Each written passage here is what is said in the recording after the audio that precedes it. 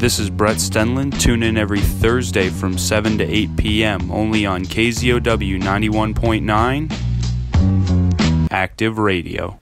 That's Friends with You by Tor Miller here on KZOW 91.9.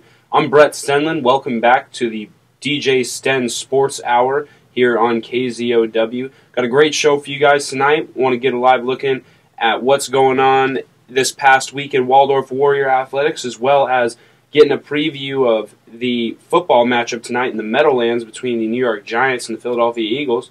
Also, we're going to start talking about hockey and basketball as their seasons are fastly approaching. Hockey just started their regular season, and basketball, the NBA, starts next week. Lots of exciting stuff to come.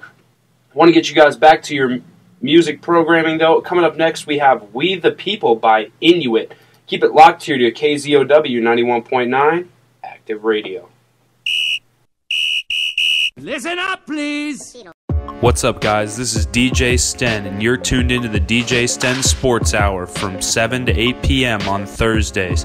Keep it locked to KZOW 91.9 Active Radio.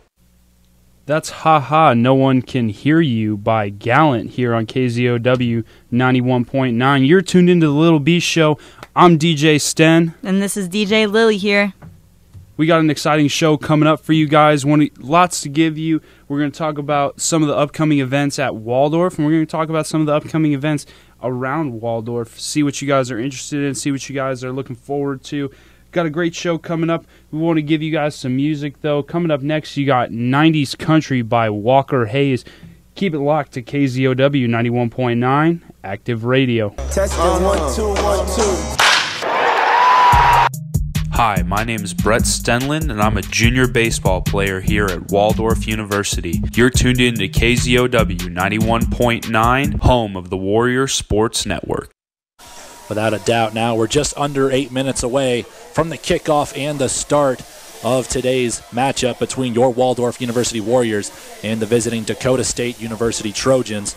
Now, Brett, just final thoughts before we get the starting lineups. What's it got to take? What are the keys to the game for Waldorf in order to bring home uh, not just their first conference victory, their first victory, much needed here today? A lot of what the Warriors going to need to do today hinges on their defensive front seven. If the defensive line is able to contain the running back, Brody Frederickson, they have a chance.